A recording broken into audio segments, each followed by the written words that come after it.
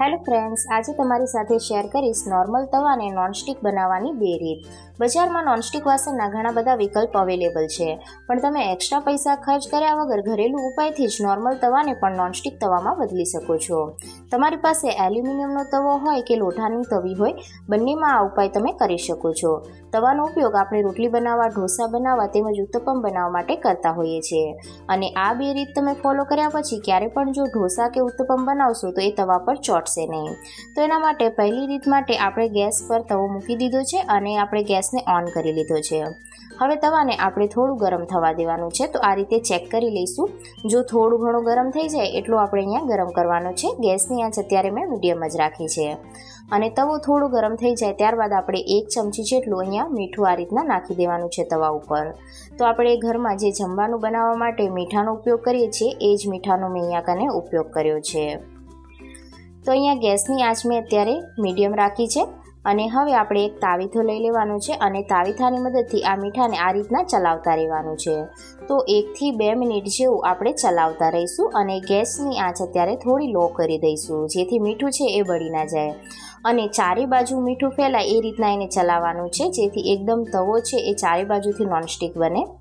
અને વસ્તુ કોઈ પણ આપણે બનાવીએ તો એના પર એ ચોટે નહીં. નોનસ્ટિક વાસણનો ઉપયોગ ખાસ કરીને લોકો એટલા માટે કરતા હોય છે કે એમાં જમવાનું ચોટતું નથી અને એના અંદર બળતું પણ નથી. પણ નોનસ્ટિક વાસણની અંદર કેટલાય પ્રકારની કોટિંગ કરવામાં આવે છે, જેની અંદર અલગ અલગ પ્રકારના કેમિકલ હોય છે, જે વધારે ગરમ થવાથી તૂટવા લાગે છે, પછી એ ખાવાના સાથે મળીને આપણા હેલ્થને ખરાબ કરે છે. એટલે કુકિંગ માટે તમે સ્ટેનલેસ સ્ટીલ, લોહા કે એલ્યુમિનિયમના વાસણનો ઉપયોગ કરી શકો છો, જેને તમે ઘરે અમુક ટિપ્સને ફોલો કરી અને નોનસ્ટિક બનાવી શકો છો. તો અહીંયા આપણે એકથી બે મિનિટ આ રીતના મીઠાને ચલાવતા રહેવાનું છે. આ મીઠાનો ઉપયોગ તમે ફરીથી કરી શકો છો, જેથી તમે એને એક બરણીમાં ભરી અને રાખી શકો છો. હવે આ મીઠાને મેં કાઢી લીધું છે અને હવે આપણે અહીંયા એક ટીશ્યુ પેપર લઈ લીધું છે અને ટીશ્યુ પેપરની મદદથી આ તવાને આપણે થોડું સાફ કરી લઈશું. અહીંયા તમે કોઈ પણ કપડાનો યુઝ પણ કરી શકો છો. હવે આપણે અહીંયા એક ચમચી જેટલું કુકિંગ ઓઇલ લઈ લેવાનું છે અને તવાને ચારે બાજુ આ રીતના આપણે સારી રીતના ફેલાવી દેવાનું છે. ફરીથી આપણે અહીંયા એક ટીશ્યુ પેપર લઈ લઈશું અને ટીશ્યુ પેપરથી આને સારી રીતના આપણે સાફ કરી લેવાનો છે. જેટલું પણ એક્સ્ટ્રા ઓઇલ હશે એ બધું આ ટીશ્યુ પેપરની અંદર આવી જશે.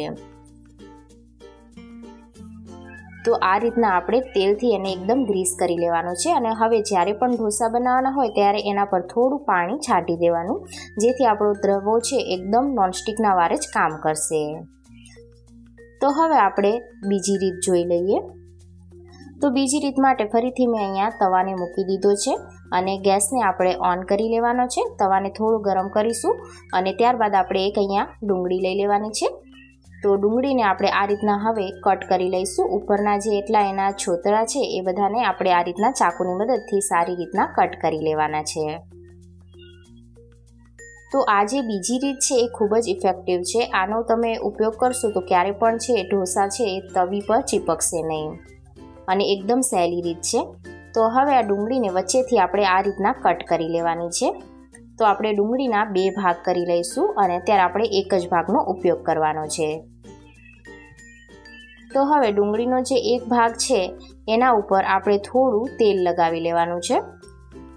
તો આ મેં અહીંયા ભાગ લઈ લીધું છે અને હવે આપણે કુકિંગ ઓઇલ આ ચમચીની મદદથી લઈ અને એના પર લગાવી દઈશું અને થોડું તેલ આપણે આ રીતના તવા ઉપર પણ લગાવી દેવાનું છે.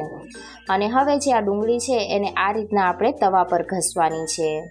તો ચારે બાજુ આપણે એને સારી રીતના ઘસી લેવાની છે. ડુંગળીમાં અમુક એવા તત્વો રહેલા હોય છે જેના લીધે ખાવાનું છે ક્યારે પણ ચોંટતું નથી. તો આ રીતના આપણે એને સારી રીતના ચલાવતા રહેવાનું છે. ચલાવતા ટાઈમે થોડું ધ્યાન રાખવાનું કે હાથ બળે નહીં.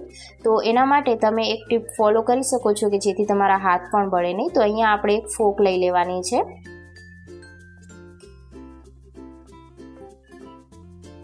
તો આ રીતના આપણે ફોકની અંદર મેં ડુંગળીને આ રીતે સારી રીતે લગાવી દીધી છે અને હવે આની મદદથી આપણે એને ગ્રીસ કરી લઈશું, જેથી આપણા હાથ પણ નહીં બળે અને એકદમ ઇઝીલી આ તવો છે એકદમ ડુંગળીથી ગ્રીસ પણ થઈ જશે. તો એકથી બે મિનિટ જેવું મેં એને ડુંગળીની મદદથી સારી રીતના ગ્રીસ કરી લીધું છે. હવે આપણે ફરીથી એક ટીશ્યુ પેપર લઈ અને ઉપરથી જે એક્સ્ટ્રા ઓઇલ છે, ડુંગળીનો રસ હોય, એને આપણે આ રીતના સાફ કરી લઈશું. તો આ તવો આપણો એકદમ નોનસ્ટિક જેવો બની અને રેડી થઈ ગયો છે. તો હવે આ તવો નોનસ્ટિક તવાની જેમ જ કામ કરશે. જો આજનો વીડિયો હેલ્પફુલ લાગ્યો હોય તો વિડીયોને લાઇક અને ચેનલ પર નવા હોય તો જરૂરથી સબસ્ક્રાઈબ કરજો.